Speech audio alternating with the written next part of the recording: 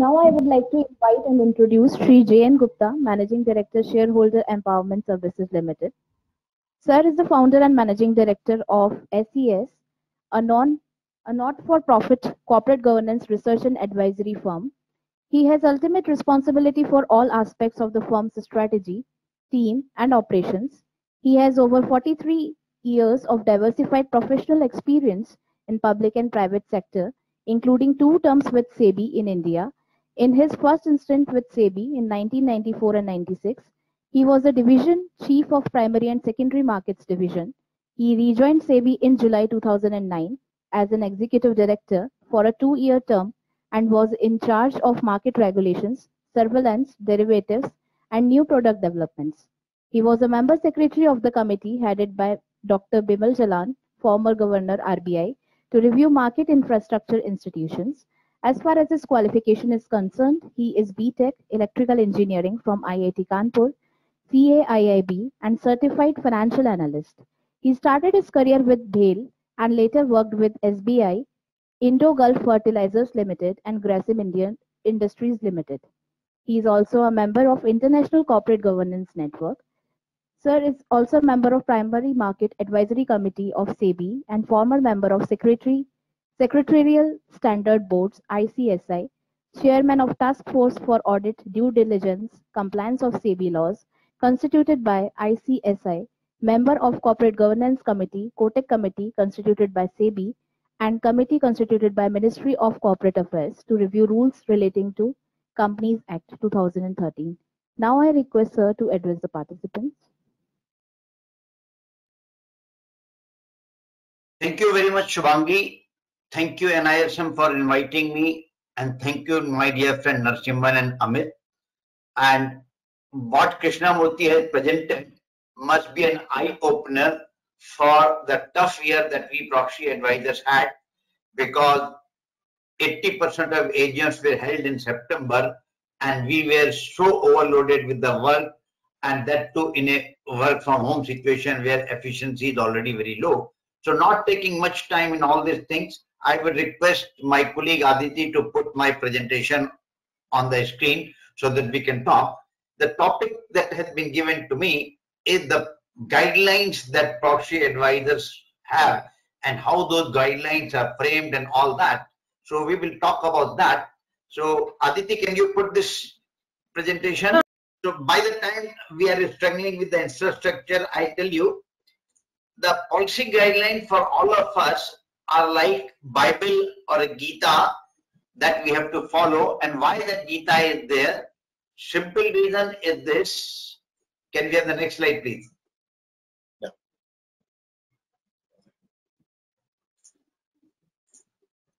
Yeah. It is because we have we have to do 700 800 companies and we want to have a uniformity that should be there consisting consistency of all our people. It should not happen in one report blue shirt is good, other report blue shirt is bad. And all the policy that we make is based on a sound rationale that we have. And why this policy is important? Because it is used by ourselves for evaluating and by the third party investors or regulators whether we are consistent or not. And then policy is there because it gives some sort of expectations to the corporate that what they will be evaluated for and what is likely to be the result if they follow something. It leaves an audit trail for us. It gives a transparent mechanism because the companies can always see that whether we have been fair or not to them. It is some sort of a standard setting and objective evaluation of what is happening in the company. And this policy has one very important aspect that is governance begins where legal boundaries end. The policy is not limited only to the legal boundaries, it extends much beyond that. Next slide, please. Now, as I said, that guidelines and evaluation goes much beyond the law. And many times we are questioned that our policy is subjective and it is questionable. I would agree that many aspects of the policies are subjective, but the subjectivity is subjectivity of the policy as a whole. It is not applied subjectively to any company or any issue.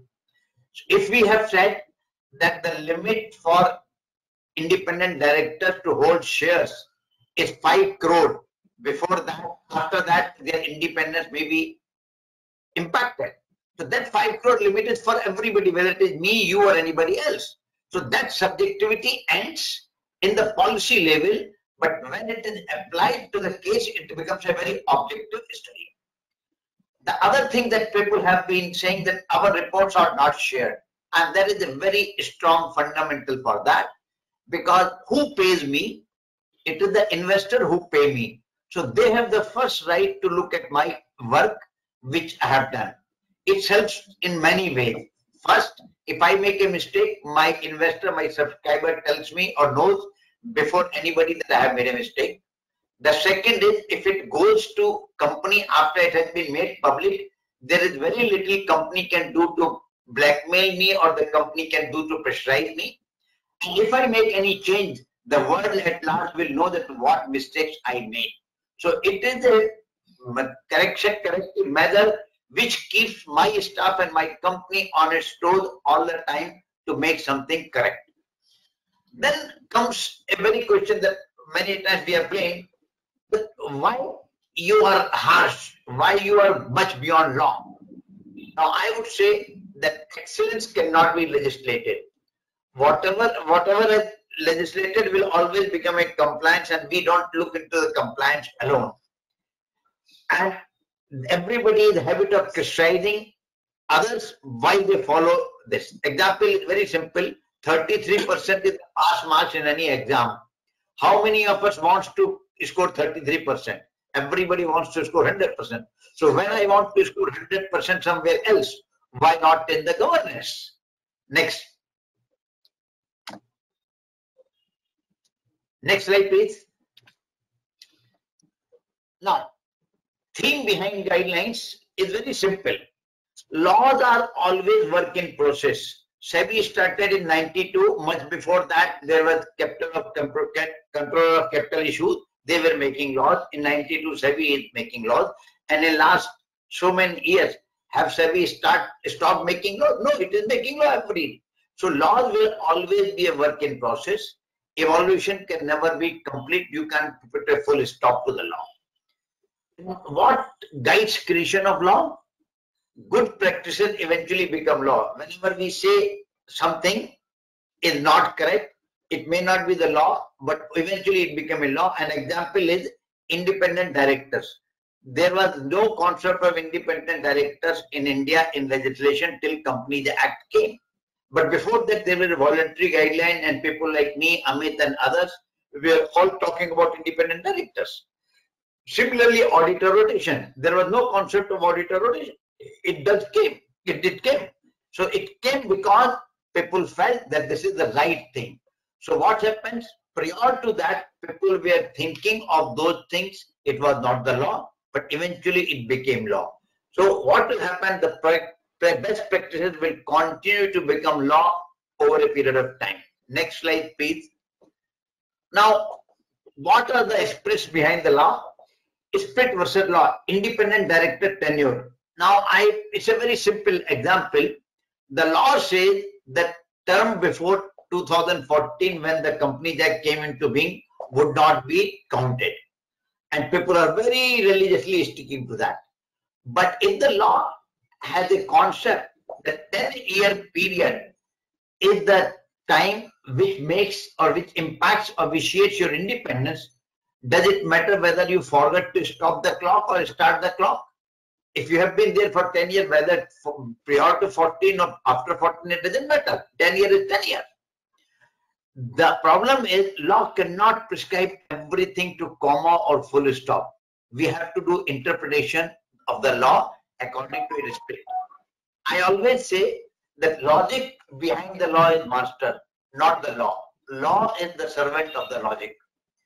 And I, at least my company, does not want to be servant of the law. We want to be the master of the law and servant to the logic only.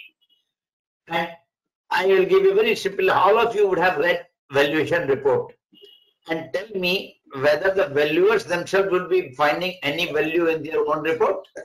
I, think my colleague will discuss it later. Next slide, please. Transparency and disclosure. This is a very important subject. SEBI said, Companies Act said, everybody said that disclose, disclose, disclose, I, I disclose. And our disclosure is like Ashwathama is dead, which was a precisely correct statement. But it was not a true disclosure because nobody knew which Ashwathama was being referred to. It was a horse or a human being. What is the objective of disclosure? It's a very simple objective is that when you present something to a shareholder, the shareholder should be able to understand it. Shareholder should be able to get information which is intended for the disclosure. It should give a holistic and correct picture to investor. But unfortunately, if you look at annual report, if you look at all the things, you will find that it is mostly a cut and paste university graduation which is making all these reports. Reports are made mostly by the copywriters, not by the board. And I have my own doubts whether the annual reports are read by the board of directors also or not. If, if you do a survey, you will find that 90% or maybe more would say that they have not read from the top left corner to the bottom right corner of page 1 to page last of the annual report. Nobody reads this.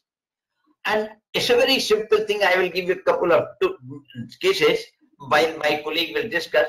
But there was a, there's a company, Thomas Cook, which brought a resolution which was not really required in law to be brought to shareholders. And we were very happy and appreciative of the company that the company is very investor friendly, very good and something. But when we analyzed, we found that it was a very sinister objective for which they brought the resolution. They were transferring a lot of value of the company to a related party and by bringing the resolution they thought that they are going to wash their sins away. Similarly, Jindal Steel and Power Limited did a RPT recently. It did not classify it as a RPT and it did all thing, everything very transparently. It went on to even conduct the auction transparently using a third party banker. But it failed to disclose whether all those who were the bidders were the same related party or they were third party investors also. So what happens? The investors have right from beginning till now have been shortchanged. They have been thought to be a bunch of fools who would not be able to catch what is the intention. But slowly things are changing. And notes to the account is another brilliant thing. It is like this in an ocean, you throw a sewing needle and ask the investor to find where the sewing needle is there. So all the important information is hidden in the notes to account. And how a mockery of the law can be made is reflected from the financial ratios. SEBI, after committee recommendation, mandated that the important ratio should be mentioned. And if there is any change in the ratio, it should be explained. The idea was that the shareholders or investors should get idea that what is reason behind the change. And when you see the company disclosure, you find the debt equity ratio has increased because the debt has increased. Profit has profit percentage has reduced because the profit has reduced. Current asset current ratio has reduced because current assets have reduced. Now there is no explanation what is the structure that has changed which has now why we are different from law and we will always continue to be different from the law because law is only a guideline. It is not a mandate that you cannot do better. And i will give you a simple example. Law permits 20 directorship 10 public directorship and 7 independent directorship in a listed company. And 10 committee membership position. Now law says that minimum four board meetings are there. Ideally we that there should be eight board meetings, but assume average of six board meetings and four committee meetings every year. each board meeting required three days and committee meeting two days because you need to prepare. You can't be just going there like a cinema and go go in and walk out for three hours and do nothing. now, if you if you look at that, you find a person who is a director in six, mm, five companies and five committee membership would need 140 days a year for only those meetings. And when you have directors who have got full-time job or full-time professional practitioner like lawyer and something, how do you expect they will be spending 140 days in a year for those companies? Obviously not. And you find that it is like a afternoon golf game कि आधा घंटा खेल के आए ठीक है हो गया and imagine, imagine ONGC is having 200 plus subsidiaries and their audit committee meeting get over in two hours or half hour or one hour, whatever. Where you can't even take out the 200 names properly during the period. So how do people are examining the um, data? Next. Now, chairman and MD separation. Now, the law has been postponed. It is not effective, but the issue is very simple. There is some idea that combining the position has ills or somewhere problematic. And what happens? What people are doing? People are saying, okay, I will not be chairman, but I will become chairman emeritus. or I will not become chairman, I will become a non-executive director, but chairman emeritus. Now, I, I would say in India, Indian mindset, we have very good propensity to find out ways out how not to follow the law but we can't find one way to follow the law. Valuation report, uh, my colleague will be coming to it, but I would say valuation report is absolute waste of time and money of shareholder because if I have, would have seen at least 300 to 400 valuation report, I can't a single paisa value in any of those valuation report. Now, duty of the board, the company that comes to my mind is Vedanta where whatever they did was everything absolutely in legal compliance. Although I differ in one aspect that there was a legal compliance also. But the question is, did they act fairly? They said 87.5 is the fair price for delisting. And I, I am sure that they must be laughing at themselves when they said this, but they were compulsion that they have to follow some dictate of promoter or something like that. The issue is that always look into your conscience and see whether it is pricking you or not. Attendance requirement. The law says that if you don't attend one meeting, you lose office. So what I do, I will ensure that at least one meeting I attend. Now, what is the impact of SEBI saying that 33% or 50% independent director when 50% or 75% they don't attend the meeting? So independence has gone to the dogs. The share ownership requirement I have already spoken. Now ESOP to ID, and it's a very, very brilliant thing that law says that there should not be any ESOP to independent directors. So what few companies did, before the Companies Act came into being, they allotted ESOPs to independent directors. And what the directors should have done, whether they should have accepted those ESOPs for exercise after the law became, they should not have done. But they have been doing it for the simple reason they don't think that this is wrong. But I put a question. If tomorrow from a murder of a person becomes bad from Monday, should I murder 3 or 4 percent till Monday comes or not? If something becomes bad from Monday, as far as I am concerned, it is bad from now. Next slide, please. Now, how do we create guidelines? Firstly, by experience, we learn, discover every day. Every day, whenever a new thing came, comes to our attention, we feel that a new guideline is required because it will take us to a better thing.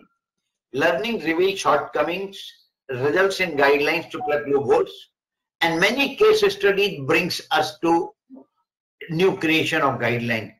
We follow many international guidelines, new legislation, and the foremost thing is that we apply the test of fairness and put ourselves in the victim's position.